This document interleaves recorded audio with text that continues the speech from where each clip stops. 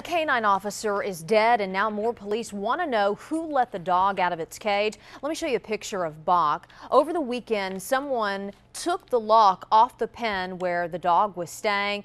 It was found dead near I-35 in Indian Hills Road. Call police if you have any information.